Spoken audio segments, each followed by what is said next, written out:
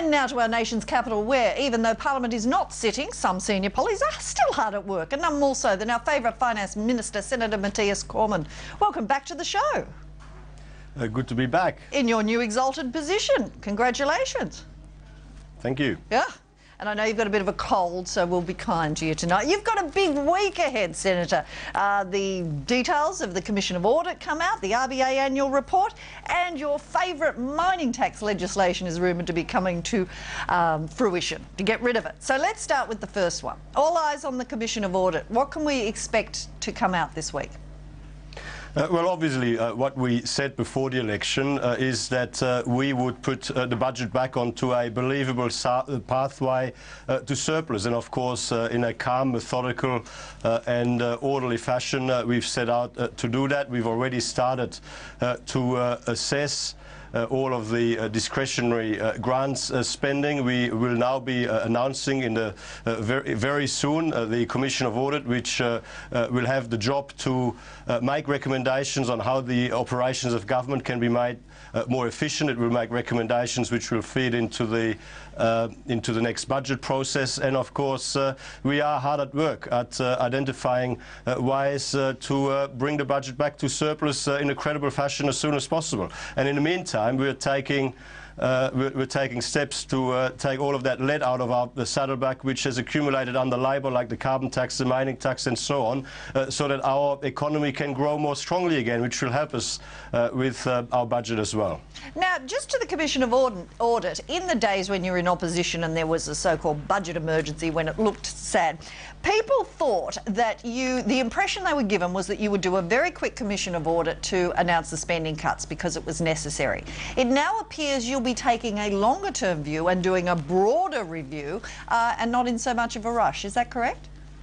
Well, a couple of things. Firstly, of course, during the election campaign, we announced a, a whole series of savings as well as a whole series of policies. And uh, what we said during the campaign was that those policies and savings uh, would leave the budget better off uh, over the forward estimates to the tune of $6 billion. The Parliamentary Budget Office uh, last Friday came out and gave our costings the big tick of approval, which of course uh, proved once and for all that Labor's uh, scare campaign over the last few years about a supposed coalition black hole was completely dishonest and inaccurate. Now, you know, we, we are uh, the Commission of Audit is uh, going to report to government in two phases. There will be a, an initial uh, report which will uh, feed into the 2014-15 uh, budget process and, and, then there will be a final report uh, which will give us some recommendations beyond that. But in, in, a general sense, the purpose is Uh, to ensure that the operations of government are as efficient as possible, that taxpayers' money is spent as wisely as possible. We are looking for uh, structural recommendations in terms of structural change that will help us uh, achieve those efficiencies. I mean, the easy savings, for want of a better word, or, or the initial uh, set of savings, of course, were identified in the lead up to the election. The Commission of Audit was always uh, meant uh, to take us beyond uh, the savings that we've identified in the but, lead up to the election. But is it fair to say that the sense of urgency that surrounded the budget position does not seem to be there now and you're more willing to let it go a bit longer and look more broadly, that there's no great rush? No, that, that is not fair to say. I mean, we do face a budget emergency. We've, we've inherited a budget in a mess from the Labor Party. Uh, a $30 billion deficit this year and growing. Uh, government net debt heading for $200 billion and growing. Uh, we're on track to reach uh, the legislated $300 billion uh, uh, gross debt ceiling by Christmas. Uh, so uh, we do have to take uh, important action. But like, I mean, you know, what we are doing though is we're doing that in a calm and methodical fashion. The, the, way to respond to a budget emergency is not through a panicked, chaotic, approach, like uh, was, uh, the, was the way way too often under the Labor Party, making things worse rather than better. better. Uh, when you face an emergency, you actually got to make sure that you take a calm, methodical and structured approach so that the decisions you make actually will lead to sustainable efficiencies and savings over time uh, and not just uh, leave you worse off uh, than when you started. So still in a budget emergency, but not so much of a crisis that you have to do emergency measures hurried. Well, uh, it is a budget emergency. You've got to remember, in 2007, the Labor Party inherited a budget uh, with no government net debt, uh, with a $20 billion surplus, uh, with about $50 billion worth of uh, cash at the bank. The government was collecting more than $1 billion in net interest payments. And fast forward, and of course, uh, the position has massively deteriorated. And I know that the government always blames the global financial crisis in 08 or 09, but the point is that they Somebody's just interrupted me. Sorry, Is, keep going. I'm sorry about that. Like the, the Sydney studio just spoke to me in my ear, not oh, sure why. Well, but very but sorry anyway, that. that happens to me all the time. Welcome to our world. Well, but, uh, well, yes, you were saying there you go. the so, previous government, you slipped and called them the government, I think you meant the previous government always the previous the government, GFC. Well, the previous government blamed, blamed the GFC, but of course what, what you've got to remember is that they benefited from the best terms of trade, the highest uh, commodity prices on record, uh, more than 15% above uh, those uh, under the Howard government, even at their lowest point. Uh, and, and the promises they made about returning the budget back to surplus from 2012-13 onwards were all made after the GFC, after the information in relation to the GFC was so, known. Uh, cut, cut a long story short, Good. the budget is in a mess. There is a budget emergency, uh, but the way to deal with an emergency is by making calm, methodical, uh, well-considered decisions, not by uh, going back to the bad old Labor way of uh, panicked, chaotic, dysfunctional decision-making. OK, you won't say it, but I still say then it must be an emergency where you can still have a reasoned way to deal with it rather than a crisis where you have to rush and panic. No panicking. Well, uh, we, we, we, are making decisions in the national interest in a calm and methodical okay. fashion. That's right. Okay. You mentioned the debt ceiling before, um, uh, which we reach in Jan in late December, I think. Uh, Joe Hockey said last week, talk about raising it another 100 million. Given what we've just seen in the US, what can you say to calm the horses here that go, oh no, debt ceiling US? We're not in any way in their position, are we?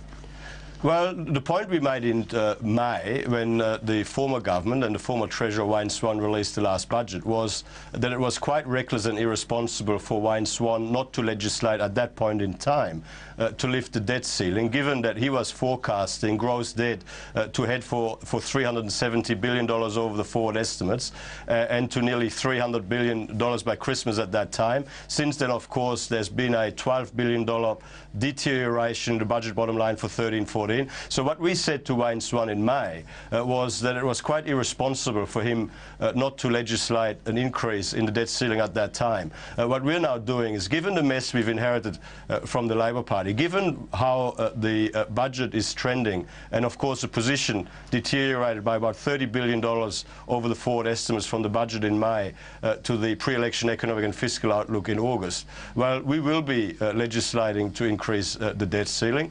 That will be one of the early uh, pieces of uh, legislation that will come before the Parliament after uh, the carbon tax repeal legislation, of course. But I would suspect, I mean, in Australia, uh, the, the approach to the debt limit ha has always been uh, more mature, uh, both sides of politics. I mean, we, we have supported uh, in the final analysis all of the uh, proposed increases in the debt ceiling that were put to the okay, Parliament so, by the former so government, and we would expect the Labor Party to do the same. Uh, yes, so it'll be a lot calmer and uh, more grown up than we've seen in the that US. That would be our expectation. Just back to the budget emergency and the calmer, methodical way, um, many in the financial community are asking, back to my point about the fact that there was an urgency before the election, um, the mid, the MYEFO that many expected would be coming out before before Christmas is now being put back to January. I gather there was a bit of consumer confidence issues there. Again, isn't that another indication that things aren't so urgent, that you're not rushing that out?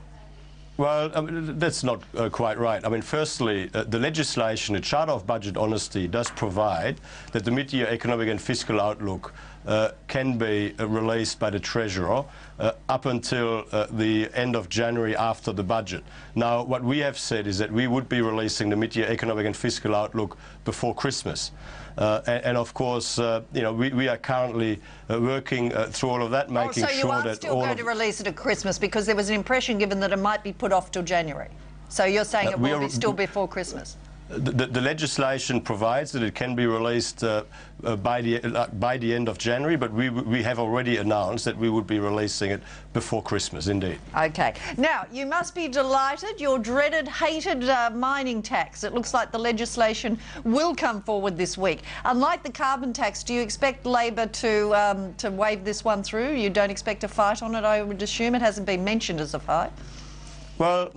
I mean, if, if, the Labor Party was focused on our national interests, if they were focused on what is required to strengthen our economy uh, at a time when we are still facing uh, some significant global economic challenges, then they would support it. I mean, you've got to remember, uh, our repeal bill, that is, uh, you've got to remember that the mining tax not only is tying up an important industry for Australia in massive additional unnecessary red tape, it hasn't raised any meaningful revenue, it won't raise any meaningful revenue, uh, yet the former government already spent all the money they thought it would raise uh, and more.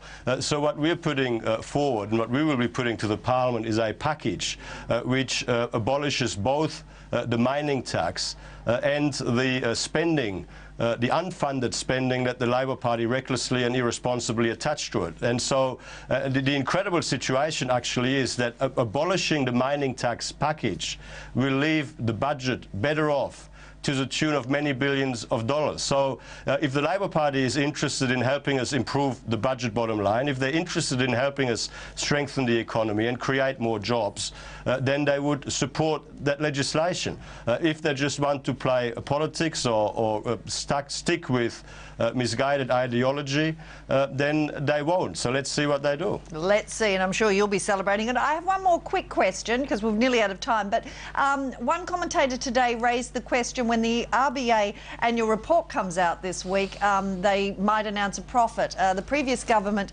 uh, did a bit of a cash grab for that profit, which was criticised by your side. Uh, if there's a profit, what will you be doing with it?